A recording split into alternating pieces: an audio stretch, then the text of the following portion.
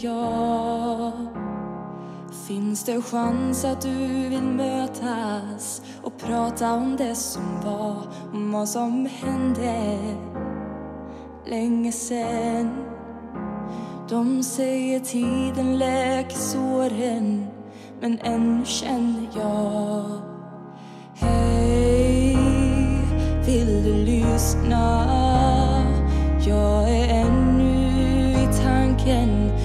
det var att vara vi när vi var unga, du och jag.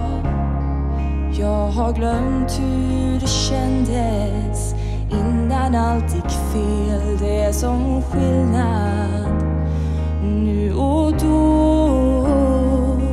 Varför blir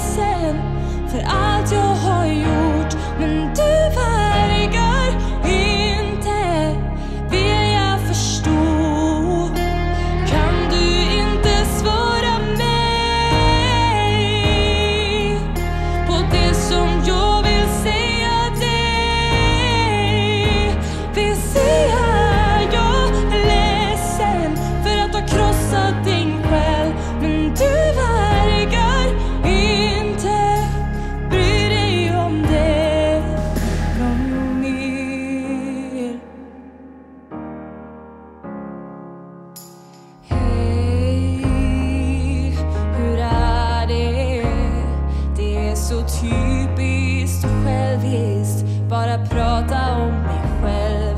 Jag hoppas allt är bra. Är du kvar i gamla staden där ingen längre bor? Alla vet att vi har inte mycket